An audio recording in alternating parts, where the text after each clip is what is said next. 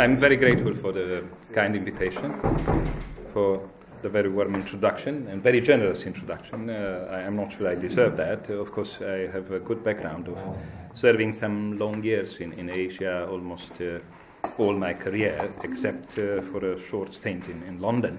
Uh, represented the missions uh, in, in China, Tokyo, Japan, and the Republic of Korea. I would say that uh, I was rather lucky. Sometimes our destiny gives us some chances.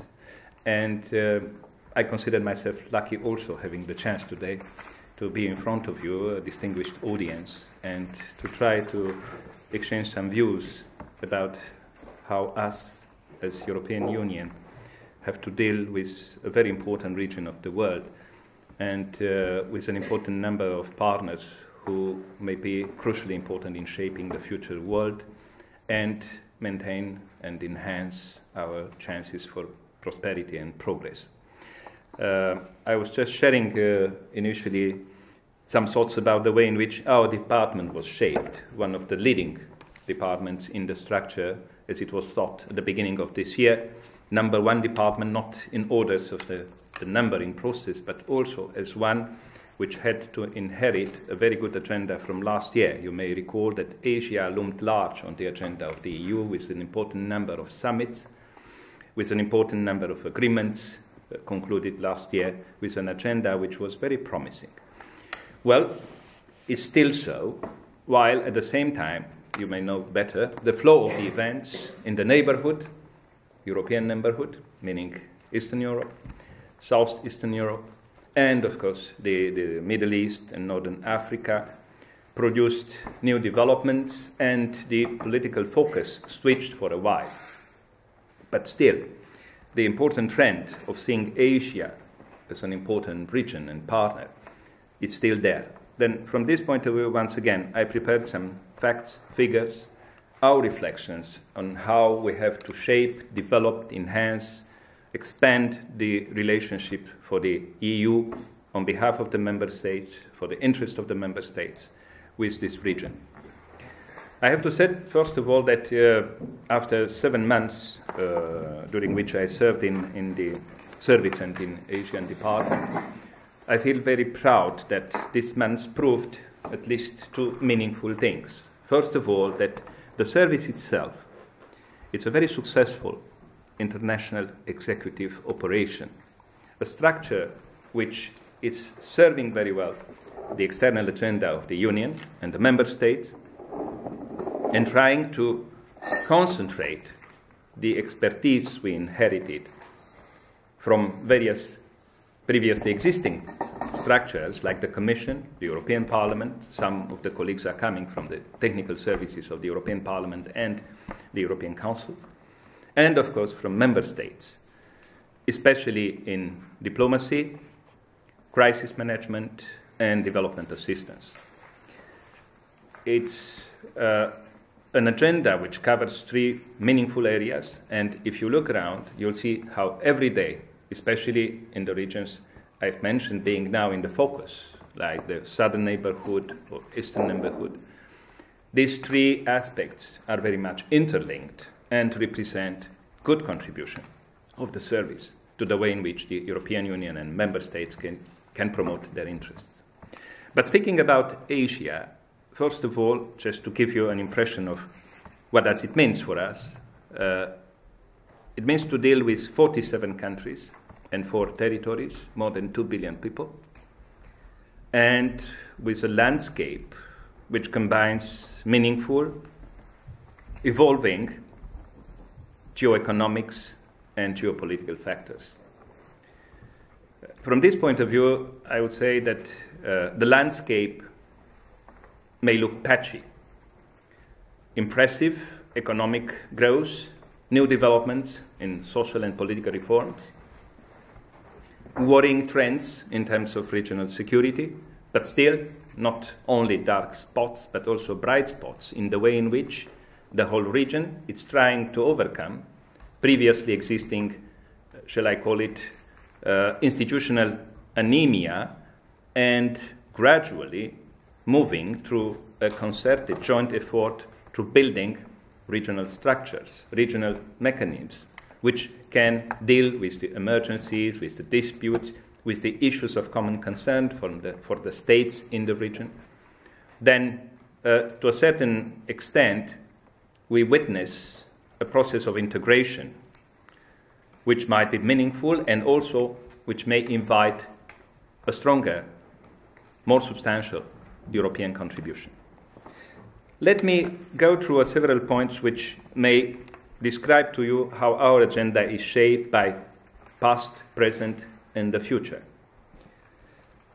First, I would say that for us already, we have several pillars which are very important and inherited from the past decades. Europe being a main donor for the countries in the region, main trade partner. The latest figures uh, proved that already Asia for the European agenda surpassed NAFTA, becoming the main trading partner. A third of the Europe's total trade flows go to Asia, and one third of European investments are heading towards Europe, uh, Asian markets.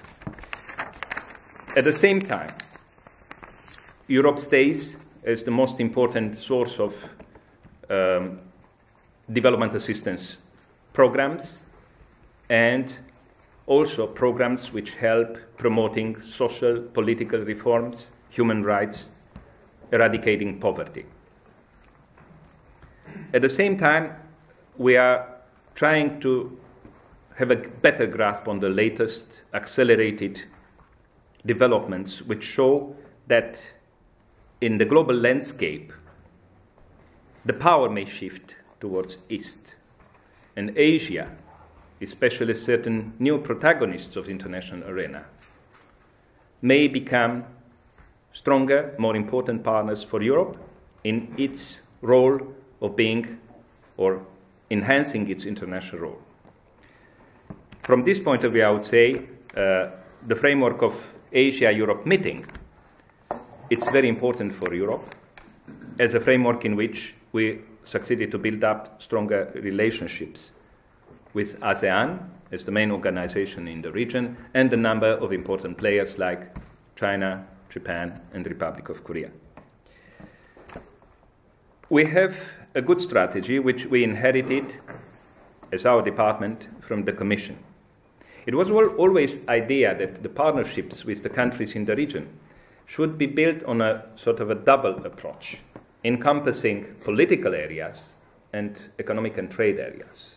Then we inherited the practice of negotiating and concluding so called political agreements with the name of Partnership and Cooperation Agreements, very comprehensive agreements, with a lot of provisions, sometimes including political ones, human rights, good governance, and trade or economic related provisions. And that coupled with uh, free trade agreements. This two-folded approach, it was always shaping a good platform for the EU relations with a country in the region and also generating a good platform, a good framework for the individual EU member states in developing their uh, particular specific relationships with the countries in Asia. From this point of view, I can report to you that this process, which started, of course, during the Commission years by the Commission Specialized Services, and we inherited, and we are continuing that together with the Commission, we succeeded already to have five partnership and cooperation agreements with Asian countries, completed in 2009-10, with Indonesia, Korea, Republic of Korea, Mongolia, Philippines, and Vietnam. Far partnership and cooperation agreements still underway under negotiations with uh, uh, China, which you, you may well uh, imagine that the extension, the amplitude of such a partnership and cooperation agreement with China, which is sort of an upgrading and updating of the 1985 uh, agreement with China. It's not a very easy process. And also negotiations ongoing with some other Southeast Asian countries, as I mentioned, Thailand, Singapore, Malaysia. And two more, uh, which we expect to launch soon with Brunei and Australia. I said about coupling that with uh, trade agreements, so called free trade agreements, which uh, for a while have been uh, successful as being concluded with excellent results. The biggest FTA for the EU ever, already concluded last year with uh, Republic of Korea, and since July 1st already started implementation. And the previous, let's say, first two months already showing splendid results, more than 30% increase in bilateral trade, exports and imports for each side. And uh, a next one looming large, the foreign, uh, the, the free trade agreement with India, which uh, for a while proves, proves to be, given the, the uh, ambitions, let's say, the scope we envisaged for, for such a, a trade agreement, being not very easy to negotiate, but still the efforts being done at all the levels, from the highest political level, which uh, is supporting and providing the political backup for that, till the technical services of the uh, Commission. The negotiations ongoing, and also with other countries, which are uh, negotiations uh, registering good progress, like with Singapore and Malaysia, and having some other members in the ASEAN, in Southeast Asia, uh, Southeast Asian region, like um, Vietnam, Japan, in, in the Northeast Asia, willing to, to uh, negotiate such, such agreements. Um, I, I, was uh, mentioning the experience of the EU in uh, development assistance, and there are two points to make in that respect, while remaining the biggest donor in the region, and Asia, of course, the most important recipient. I would say that we, we by now are trying to do a sort of adjustments in the planning process for, for the future cycle, taking into account, once again, the uh, economic dynamism of the region, the good uh, victories they scored in many ways. Uh, GDP growth, per capita growth, trade flows increasing uh, at a more accelerated speed. And at the same time, given the level of uh, local resources, from this point of view, of course, there are considerations related to the new levels of income at the national level in, the, in these countries. Then maybe uh, the amount of uh, development assistance programmed for the future cycles would not be as much as in the past. And new considerations, of course, are just setting in and will do a rethinking about the way in which China, India, maybe Indonesia will benefit in the future in amount or in nature and we will reconsider the way in which we'll proceed with uh, this assistance. But we have to, to, to, admit, to recognize that still many countries, including the, those now mentioned as belonging to the mid uh, level income categories, they still, unfortunately, have problems.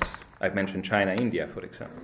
Still, on certain parts of their territories, still have pockets of very serious uh, poverty uh, challenging their national efforts. And from this point of view, of course, EU will be always ready to provide a certain amount of assistance, assistance in expertise, in the way in which to, to fight against uh, poverty and underdevelopment.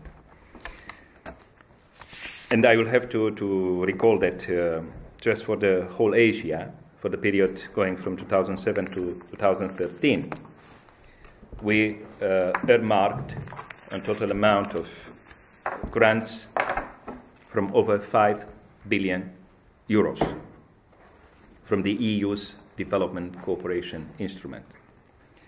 The same, because I, I, I haven't, uh, I haven't mentioned yet, besides Asia, we are covering also the Pacific, which of course is close to Asia. I, I won't go into uh, discussions on how would be properly defined the whole Asian continent, but we are covering from the borders of Mongolia, China, Northeast Asia to the borders of Iran. Iran not being included, Central Asia is not included in, in our geographical area. But then Pacific, first time, it was uh, included in, in, in, the area we are uh, responsible for. And uh, the 15 countries in the Pacific are also uh, recipients of an important amount of uh, European effort in development assistance, including for the fact that they are challenged climate change, and many of them are, very much threatened by the level of rising water. Then uh, let me say, after this uh, general, very broad introduction, uh, you, you, may be interested in, in, certain details about our thinking and strategies in dealing with uh, a certain number of important partners in the region. I've mentioned that we have four strategic partners. And uh, as you may know, since September last year, there is a good debate going on. Uh, by the end of the year in December, also a good number of papers were uh, dedicated uh, in the European Council to the thinking about what the concept of the strategic partners should be actually uh, defined and implemented. Uh, I would say this, this process of reflection, which invites, of course, contribution uh, from the member states, from the parliament as a political guidance, it's still going on. Besides the ones which were discussed last year, United States, Russia, China, there are many other important strategic partners with new developments in their national and international uh, situation, and that invites uh, a more focused approach, a new way of defining priorities, objectives, way of implementing and promoting stronger, uh, expanded relationship with these so-called strategic partners. The case of India, Brazil, South Africa. Then, uh, from this point of view, I will start with China, which looms large on our agenda, with Asia. Uh, last year, as you may know, we, we had a summit in the fall in Brussels. It was sort of a transitional summit because it came immediately after, as the first summit with China after the adoption of the uh, Lisbon Treaty. Then the new institutions, European institutions, were not exactly all of them already in place. And uh, from this point of view, let me say we did, to a certain extent, better after the, the beginning of this year, while we started to, to look into this uh, strategic partnership we have with China, stated in 2003. And we tried to use as much as we could in this very short lapse of time the new instruments created by uh, Lisbon Treaty. And you may recall, in mid-May, we had the first visit abroad of the President of the European Council in his capacity.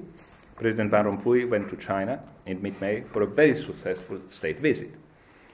Um, it was one which uh, has shown that in his position, in his role as a political authority representing the EU, he may contribute very well in a dialogue or at the substance and the extension of the political dialogue with a meaningful strategic partner. Then later on, we had also the second round of strategic dialogue with another institution, if you want, created by the Lisbon. And it was uh, the second round of strategic dialogue done by uh, Lady Ashton as High Representative and Vice President of the Commission with uh, State Councillor Dai Bingguo, uh, a high level of, uh, of dialogue too, especially meaningful because it focused on a good range of global and international issues. And without adventuring myself in trying to, to elaborate more on how we see the, the strategic partnership concept, uh, in an, if you want, in an immediate understanding, uh, which may guide uh, our actual work in implementing that, would be beside the bilateral relationship to go international, to go beyond bilateral at regional and global level, and to go into long term. I would say that to a certain extent we are doing that since, once again, since the beginning of the service in the relations with, with China. And uh, let me say, to the same extent, the Chinese are willing to join our efforts in exploring such directions for actually implementing what we generously called strategic partnership. Uh, I would say, first, because I've mentioned the, the uh, going beyond bilateral, that uh, visibly this year the quality of engagement with China in the multilateral setting improved. And, uh, well, we may have some specific examples as China uh, voting together with those who supported the new role of the EU at the United Nations, yeah, as observer, But of course, there are still moments in which, following its national interests, China and some other strategic partners of the EU may have a different position, as it's happened recently on the resolution in the Security Council on Syria. At the same time, I have to say the bright spots, many others are there, noticed in the process of uh, achieving a greater political coordination on other, as I said, global and international issues, like on climate change, uh, counter piracy, uh, Asian security, coordination on, on the issues which are on the agenda of the G20, and so on. I have to, to uh, recall also the way in which, I guess, uh, very much your attention was, was also focusing on the way in which China uh, has a certain role against the background of the uh, European sovereign debt crisis. Uh, though still uh, the exposure is small, the amount of euro bonds bought by China, it's, it's not very much. But still, in many occasions, uh, through political statements, public statements, political statements, um, its general attitude, including in the media, uh, the Chinese expressed confidence and support in the efforts done to uh, manage the, the euro crisis. And to the same extent, they went ahead in supporting individual member states. Um, from this point of view, I would say that it's good to see such a major global economic player expressing faith into the resilience of the Eurozone. Um, at the same time, of course, I have to, to recall the fact that uh, the, the economic, the financial and economic crisis since 2008, as you may have noticed, pushed China upwards and its economic performance suddenly positioned China, as I was saying, as a leading economic player in the world. It became the second big economy, uh, surpassing uh, Japan. And at the same time, the people uh, started to notice how much the economic potential, not only because of the natural resources, labor resources, the financial resources, the, amount of uh, foreign uh, currency reserves existing in China, but also the market, still are now challenges and opportunities. From this point of view, I would say that uh, our service and myself, we are increasingly aware of the expertise, knowledge, and good grasp on the realities in Asia in general, and in, in China in special, existing at the level of the European business community. Since almost three decades already, the European companies with a fantastic courage and good entrepreneurial spirit adventured into the Chinese market. They were more or less players, contributors, and partners into the process of opening and reforming the Chinese society and the economy. Invested a lot in terms of bringing in technology, transferring technology, bringing in advanced and efficient, more efficient management, training Chinese experts and managers, being a part of the whole game through which effort and construction through which China became an important economic player. I'm, I'm not sure we all, maybe including the Chinese friends, paid enough tribute to the contribution of the European companies tens of thousands of European companies who kept being very uh, present, active, and courageous, exploring and courageously exploring the, the European market, uh, the Chinese market, and being a part of this advance and progress of the Chinese economy.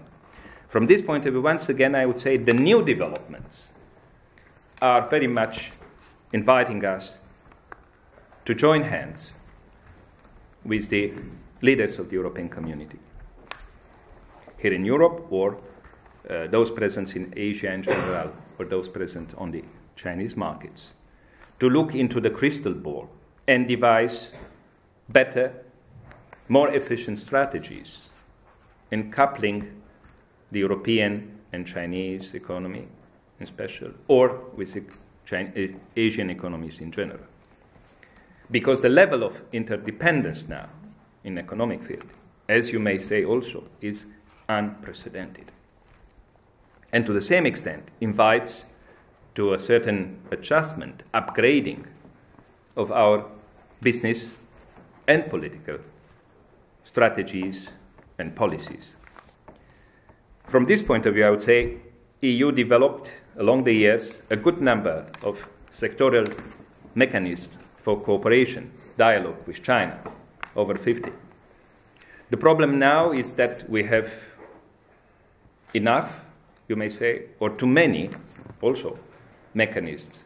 And sometimes we disperse important things in smaller way of conducting certain dialogue exchanges. And it would be much better to be more selective and focused.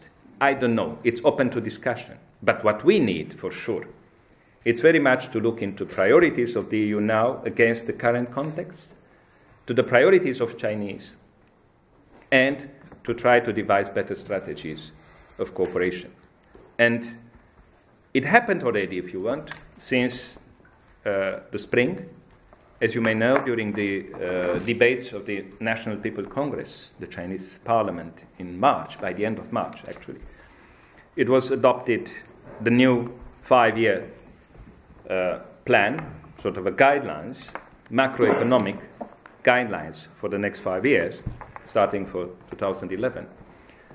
And I would say that to a greater extent than in the past we felt, and we invited a good number of think tanks, and I would be happy if your distinguished uh, think tank we may be also involved in such a, an open reflection, how the European 2020 strategy and the, five, the Chinese five years guidelines may well offer a potential because there are a lot of commonalities regarding the sustained development, green economy, yeah, urbanization, social development, many fields which may, be, may represent the potential, uh, new areas for uh, updating, upgrading, refreshing our, our uh, cooperation in many fields. Because of that, once again, I admit and praise the work done for having a good number uh, of sectorial dialogues, but I would very much invite them to live up to the current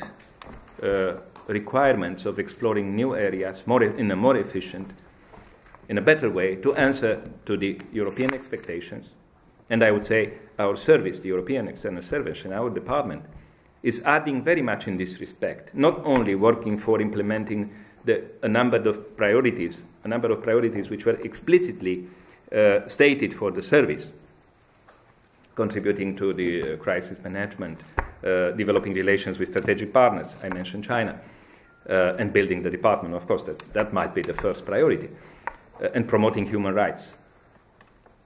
But I would add another one. I would beg to, to, to creatively, with your kind acceptance, uh, add another one against the background, the difficult one, which is challenging one, challenging all of us after the crisis.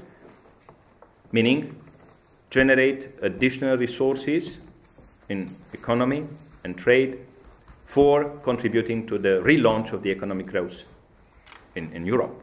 And that can be done in the relations with China and in general with Asia. Of course, I, have mentioned shortly uh, our contribution to, to the priorities uh, related to the promoting uh, basic values like human rights. Of course, uh, Chinese, they face a lot of challenges after three decades of sustained growth, which tremendously changed the whole landscape, social and political landscape. Maybe not to the extent which was uh, expected in some other parts of the world, but which very much contributed first to integrating China into international community, contributing to a certain amount of a certain degree of liberalization of that society, to a certain extent of embracing, adopting localizing international and European values. But the process, it's not finished. Besides, as many events proved, if you want, but you can choose any point in time. But I would be just, uh, given my experience on the grounds as Romanian ambassador there, to say since 2008 maybe. Because since 2008, the level of international exposure of China because of the domestic and international events or uh, events with an international dimension, as it happened to be Beijing Olympic Games, last year's Shanghai World Expo, China increasingly had to go international and to welcome a greater extent yeah, of international, if you want, participation into Chinese affairs. Then, from this point of view, I would say we are challenging sometimes China, inviting her to be more courageous, daringly promote a greater extent of opening and reforms, and offering in that respect expertise, our experience in many ways, in the way in which Europe, European Union, member states went through transition, changes, and to the same extent, trying to understand the specific situation of China challenged by the new stage of its own development.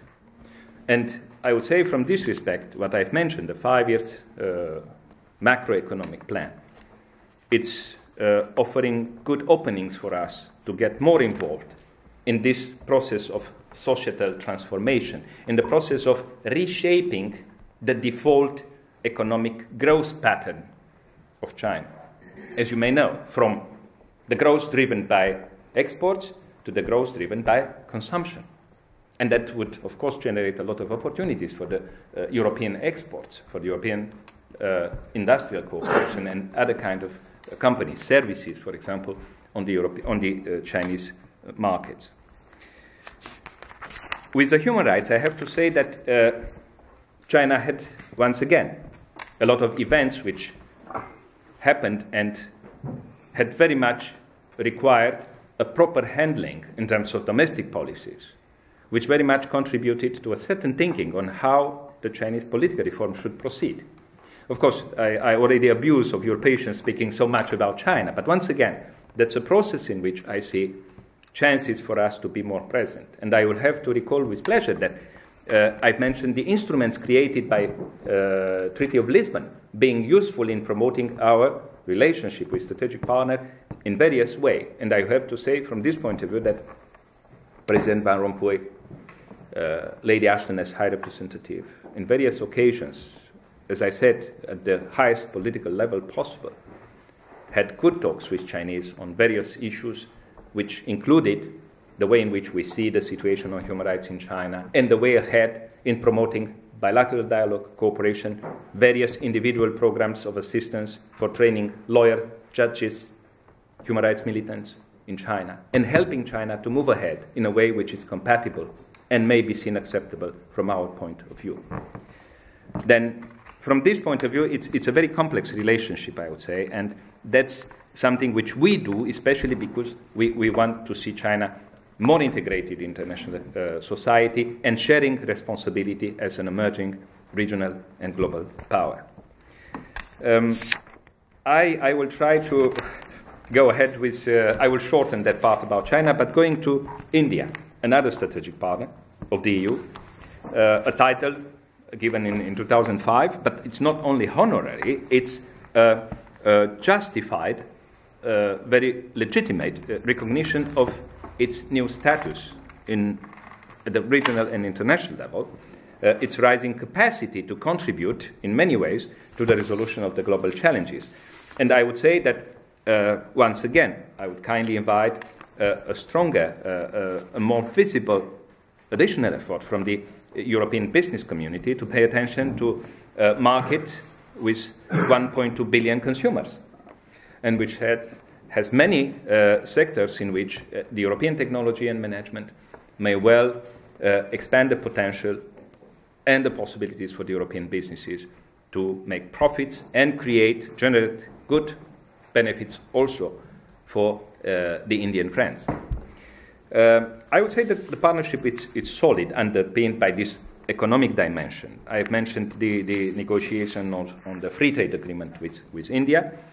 Uh, but I would say that, as in the case with China, we have a very elaborate architecture of various sectoral mechanisms of dialogue, dialogue and, and cooperation, which again are, are compressing, uh, for example, human rights, it's the only country with which uh, India has such a uh, dialogue with an international partner.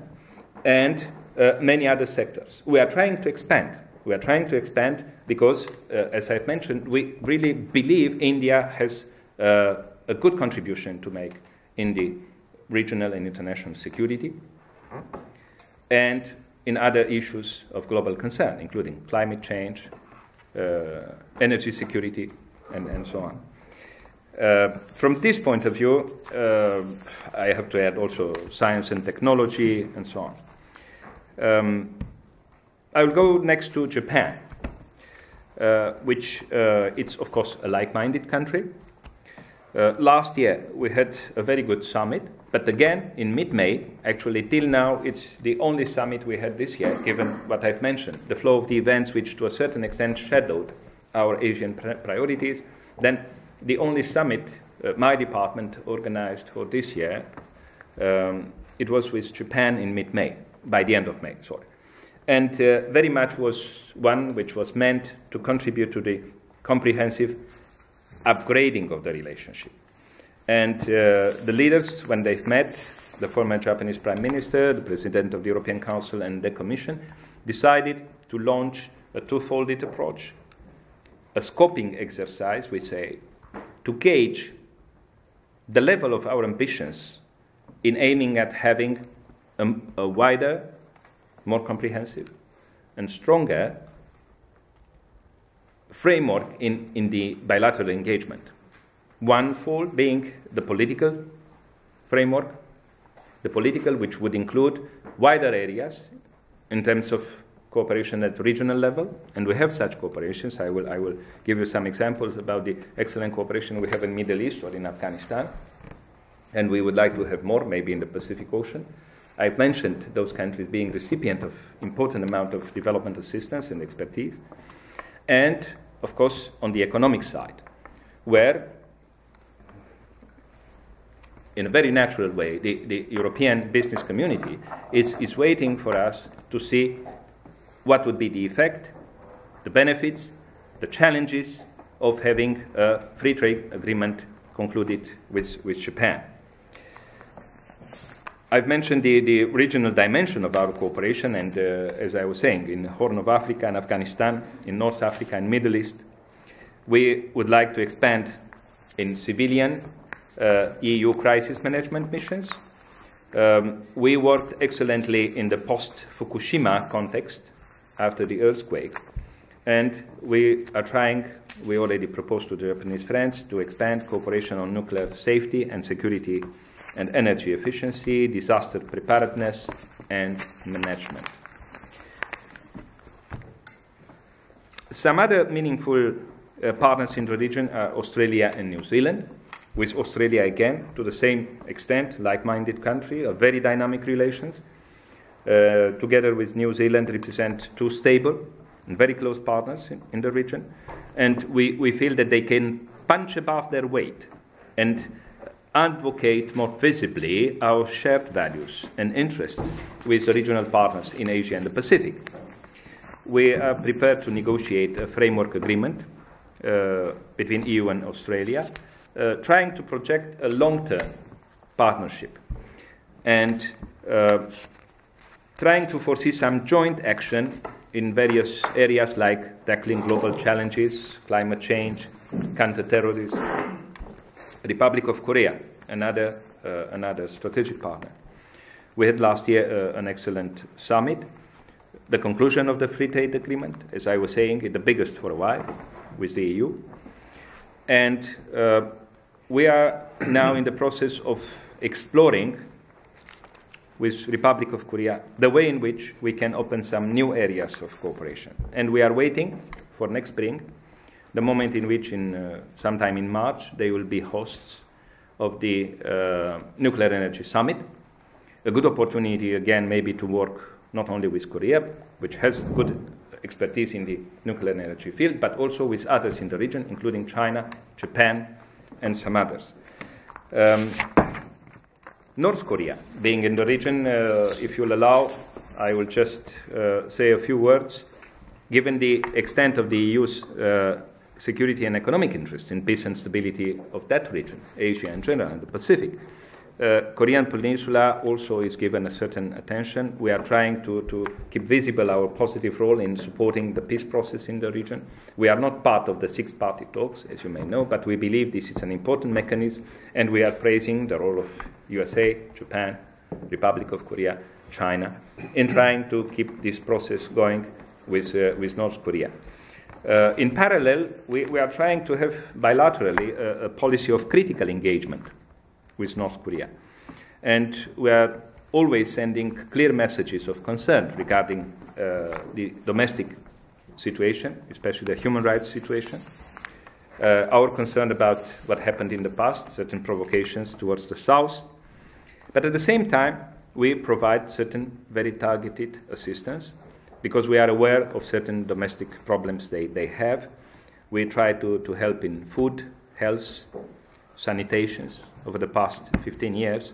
And as you may know, lately, uh, given uh, certain exchange of views and uh, certain uh, documentation we've got from the World Food Programme, we decided to uh, provide on an emergency basis a 10 million uh, euros food assistance for certain vulnerable segments of the population.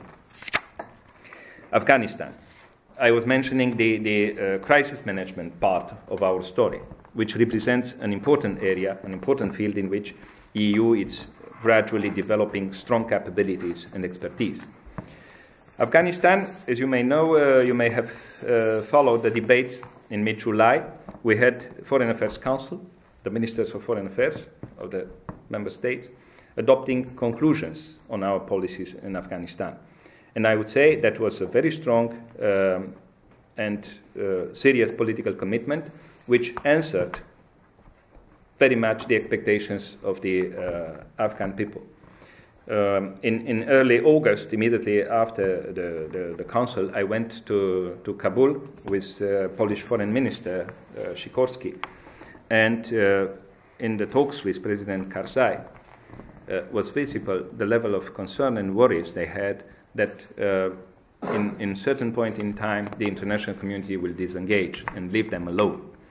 Then, from this point of view, EU uh, had a point to prove. And you may know we have certain operations, like in assisting the training of the uh, civilian police over there, which shown that we are very much contributed to the uh, institutional capacity building and to those efforts aiming at keeping the stability, uh, public order, and promoting civilian reforms. Um, Actually, since 2002 already, the EU's programs in, in Afghanistan uh, helped in various institutions, building capacity building at the central and local level, electoral reform, justice, and in many other economic sectors uh, to, to develop the private sector, to develop energy, agriculture, and so on. Of course, uh, we are very much aware that uh, domestic challenges are still very big, and of course, if you'll, uh, if you'll want, I can elaborate on that. Pakistan. We, since last year, I would say, we are following very close, paying good attention to what's going on over there. We know that Pakistan is a country which has a crucial role to play against the international terrorists and for the peace and stability of the region, in the immediate neighborhood of, of Afghanistan we continued to, to reinforce our engagement with Pakistan last year. At the summit, it was decided to offer a five years engagement plan, very comprehensive one, let me say, a good number of pages representing various offers in terms of programs, a good selection of sectors uh, aiming at supporting the civilian government, supporting the institutional capacity building and the administration, and helping uh, the economic development and social uh, development of Pakistan. Uh, in these days, just last week, we had very good talks with Pakistani officials from the Ministry of Foreign Affairs on how to shape, how to define the whole package of this uh, five years engagement plan, which shows that uh, the EU is not only concerned about the immediate situation, but trying but a midterm commitment to offer programs in helping the civilian authorities to do their best in promoting good governance, social and political reforms, and relaunch the economic development, and being better equipped to deal with the challenges in the domestic and regional security. Uh, Southeast Asia. I've mentioned uh, ASEAN, Southeast Asia Association, as being a very important one. It's a population of over 6 million people, young and with rising living standards. It's the fifth largest trading partner of the EU with very dynamic economies, very successful, certain very successful models of transition, of democratic transition, like Indonesia, Philippines. As an organization, we feel that ASEAN has a central role to play in what I've mentioned, overcoming the institutional, organizational anemia of the whole region, and playing a role in shaping up a bigger, stronger, meaningful architecture, an institutional uh, architecture at the regional level. Then, from this point of view, I would say that lately, in the recent years, uh, visibly, ASEAN got some inspiration for the European experience, and it's going along with that in its own way. The relations with the EU developed uh, significantly in the last two years. We, we had, uh, with 10 individual members, a good number of bilateral agreements and sectoral cooperation, and with ASEAN as a group. I will just uh, uh, point out the successful, efficient developments through three avenues. First, economy, of course. The economy, I would say, and the trade exchanges shown, as I pointed out, sort of an unprecedented level of interdependence. Critically important for both EU and ASEAN in this very moment in the aftermath of the financial and economic crisis. Secondly, I was mentioning the, the, the integration process. The fact that by 2015, ASEAN wants to create an economic community. That should be seen as an opportunity for the uh, European business. It's a level playing field being created and lucrative market in the future being shaped for the European technology, goods, services. FTA negotiations, because of these prospects, are, are moving ahead, and I mentioned good prospects and progress with Singapore, Malaysia, exploratory exercise of seeing what can do, what's the level of the ambitions with Vietnam and Thailand. I've mentioned development assistance. We are giving, uh, we already uh, started and we, we marked for the cycle, financial cycle from 2007 to 2013, already uh, an important amount, 1.3 billion euros, which are uh, dedicated to uh, as, as grants for, for many countries, one of the biggest recipients being Vietnam. Um, I would say that uh, that process of integration in ASEAN it's, it's advancing very well, but we are trying to help them to have institutional uh, mechanisms which are working for that. The Secretariat of ASEAN, for example, it's, is deserving more attention. We are trying to contribute in terms of staff training, capacity building with that, and have certain programs for, for them. We are also helping them with uh, having a, a, regional human rights body. We have uh, a permanent dialogue with those mechanisms in charge of monitoring and following their, their situation in that respect. Just to, to finalize, I would say that uh, the regional landscape, as I put it, looks patchy, with the economic dynamics, with certain tensions in terms of territorial disputes and security developments. But what is important for us, I would say, are this kind of uh, cross cutting issues. One, the positive trend towards democratic consolidation yeah, in the region. You, you may have uh, seen the results of the recent elections in Indonesia, Philippines, Malaysia. Uh, others are compelling us uh, on an, I would say, emergency basis to try to address the problems of corruption still existing there and affecting those administrations and countries like in Cambodia and Vietnam.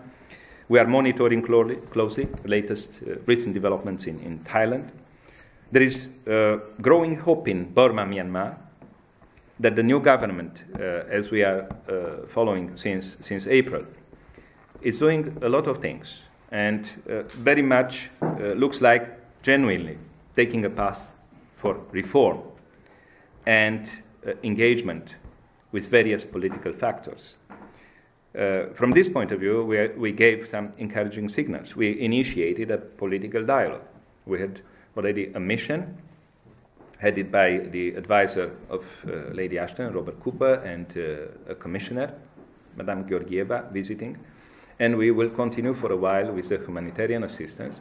But we, we will watch uh, the developments in terms of political reform, release of the political prisoners, the uh, extended dialogue with certain political opponents. And from this point of view, I would say we have to be ready, if needed, to make new gesture in encouraging the government to stay on this uh, course. They engage it already in promoting some changes. Um, I've mentioned security challenges in the region. Terrorism, risk of proliferation of uh, weapons of mass destruction, transnational crime, rising energy demands, and competitions. As you may have seen, down to the southern part of the, the region, over natural resources, maritime piracy, natural disasters, the things which happened in Japan, in Japan challenge very much the preparedness, the existing mechanism. Then, from this point of view, I would say the European expertise and involvement, it might be very much appreciated and invited by these developments. Uh, I've mentioned Pacific being part of, uh, of our agenda, but uh, still, I, I, I, hope I did not abuse very much of, of your patience. Then, uh, if there are any questions on, on the Pacific chapter of our activity, I would be happy to, to elaborate on that. Once again, uh, Asia and the cooperation with our department are very high on, on the agenda uh, at the level of the President of the European Council, the European Commission, and the High Representative uh, Catherine Ashton. From this point of view, I have to say that personally, I, I benefited of a direct support, political guidance, and personal involvement. Very much ne- necessary since, as you may know, the Oriental friends, the friends in Asia and in Pacific, they like very much to, to see a certain level of political representation and dialogue. Then, from this point of view, I assure you, this, this fall may be also a very uh, hot one. We are preparing uh, the summit with China, we are preparing certain visits in the region. Once again, very grateful for, for your attention. I hope I did not abuse of your patience, and I'm, I'm, I'm ready to answer to your questions. Thank you. Thank you.